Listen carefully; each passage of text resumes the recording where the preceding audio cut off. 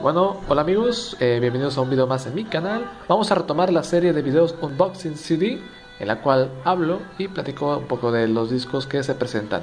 En esta ocasión tenemos a la banda de rock de Estados Unidos originaria de Chicago, Fall Out Boy, con su álbum American Beauty, American Psycho, el cual hoy 16 de enero del 2021 está cumpliendo 6 años desde su lanzamiento original.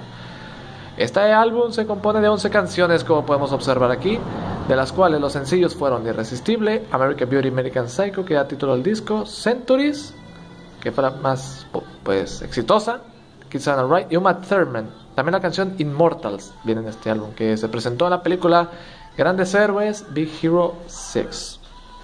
Y bueno, ¿qué puedo decir de la portada? Tenemos a un chico, eh, un adolescente básicamente, representando la belleza americana en la parte donde no tiene la pintura en el rostro y donde tiene la pintura como bandera de los Estados Unidos, pues representaría el lado psicópata, el lado American Psycho. Vamos a ver un poquito el booklet, que es este libro.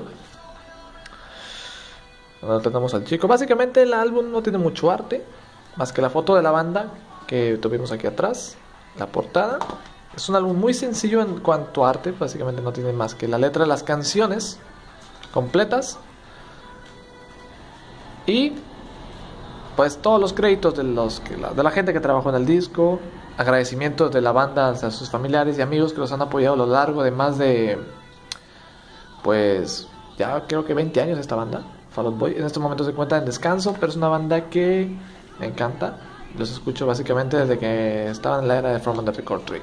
Espero que les haya gustado este video cortito, pero pues ahí estábamos hablando un poquito de este disco que la verdad pues me gusta mucho, se los recomiendo American Beauty, American Psycho, un pop rock, ellos lo describen como David y Goliat este disco, eh, así lo sienten ellos, y es un disco que, como dijo Patrick Stone, a algunos nos puede no gustar porque a lo mejor están acostumbrados a un sonido más punk, esos inicios eran punk rock, en este álbum experimentan con el pop y otros elementos, pero que es un disco que vale la pena escuchar de principio a fin, y la verdad, tiene buenas canciones, mucha energía ahí.